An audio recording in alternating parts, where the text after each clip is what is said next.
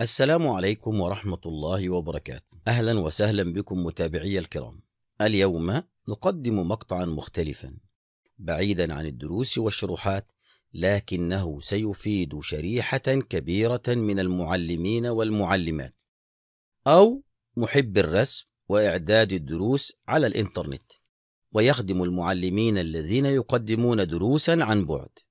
البداية كنت أبحث عن جهاز يمكنني من الكتابة باليد أثناء الشرح أو البث المباشر للدروس عن بعد. فوجدت قدرا أحد المعلمين يسأل عن كيفية البدء في العمل كمدرس أونلاين. فرد عليه أحد المعلمين قال له في البداية اشتري جهاز XP Pen فبدأت أبحث عنه أنا أيضا لأعرف ما هو وكيف يعمل. حتى وجدته وشاهدت الكثير من المقاطع عنه حتى اقتنعت وطلبته. وسعره مناسب جدا لمن يريد أن يبدأ العمل. وعندما وصلني انبهرت به أكثر صراحة. والجميل في التابلت أنه ينقل لك شاشة الكمبيوتر للعمل عليها من خلال التابلت بدقة صورة عالية جدا ربما أعلى من دقة الكمبيوتر والجميل أنك ترى الشاشة وتعمل عليها لأن التابلت القديم من هذه الأجهزة كان المعلم أو الرسام يعمل على شاشة سوداء. ولكن هذا في قمة الروعة ومن جماله أحببت أن أشارك معكم التجربة. يمكن أن تفيد أحد المعلمين أو الرسامين. وعندما وصلني الجهاز وصلني بتغليف ممتاز وحماية عالية الجودة وهذا شكل التغليف الذي جاء به. نفتح معا ونرى ما محتوياته. يأتي التابلت في عدة ألوان وسنتعرف عليها ويأتي معه مجموعة كابلات وهي بالتفصيل كابل ال HDMI وكابل للطاقة فهو لا يعمل لاسلكي كما يأتي كبل إضافي لزيادة الطول عند الحاجة ويأتي معه قلم في غاية الروعة والدقة. والمميز في القلم أنه لا يحتاج إلى شحن أو إلى بطاريات فهو مزود بتقنية شديدة الحساسية كما يأتي مع القلم مجموعة كبيرة من السنون التي يمكن تبديلها عند تآكل السن وهذا قليل جدا.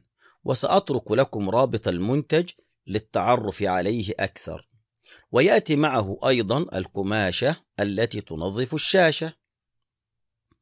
ويأتي أيضا الجوانتي الرائع حتى لا تطبع اليد على الشاشة ولا يعاكس أثناء العمل أو الشرح حتى لو لم نستخدمه.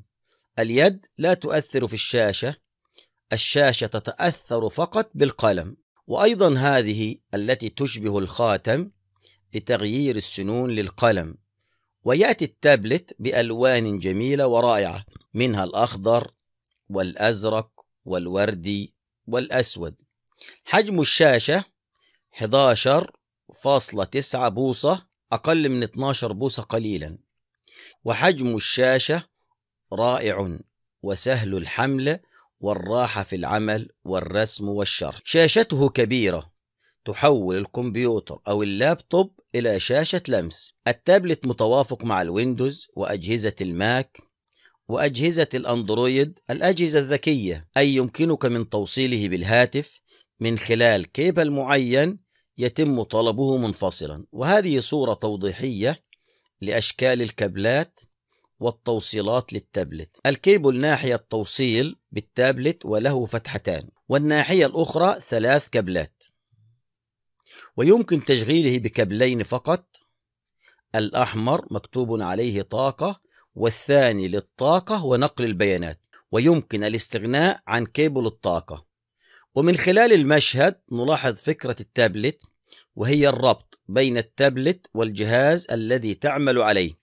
وتحويله إلى شاشة لمس من خلال القلم.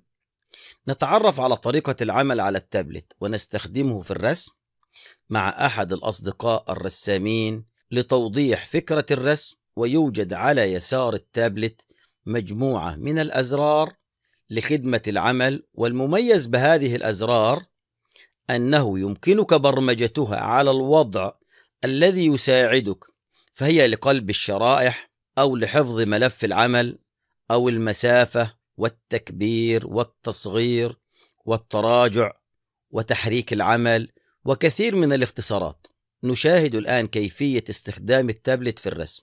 من خلال رسم كاريكاتير واستخدام الفرش والألوان وبداية نستخدم الطبقات لرسم كروكي للعمل أو التخطيط البدائي للشكل. ثم بعد ذلك يتم رسم الخط الأساسي لتحديد الشكل. ثم بعد ذلك يتم رسم الخط الأساسي لتحديد الشكل والرسم. ثم بعد ذلك يمكنك حذف الطبقة أو اللير المخطط عليها ليبدو الشكل أكثر دقة. ثم تأتي بعد ذلك مرحلة التلوين ليكون الشكل النهائي كما ترونه وهذه لعرض الفكرة سريعا وكيف تم رسم وتلوين الشكل لعرض الفكرة ونعلم أن الفنانين والرسامين يعرفون البرامج التي تناسبهم أكثر في الرسم. من البرامج التي تتوافق مع الرسم وهي كما ترونها على الشاشة وعن نفسي استخدمت برامج أخرى للشرح ومنها ال PowerPoint والرسام وبرنامج Microsoft Word والكتابة على ملفات ال PDF وهي البرامج التي تخدم المعلم أكثر. و Microsoft Teams وبرنامج ال Zoom وكل برامج الشرح أونلاين. وهذه تجربة عملية لشرح الدروس أونلاين.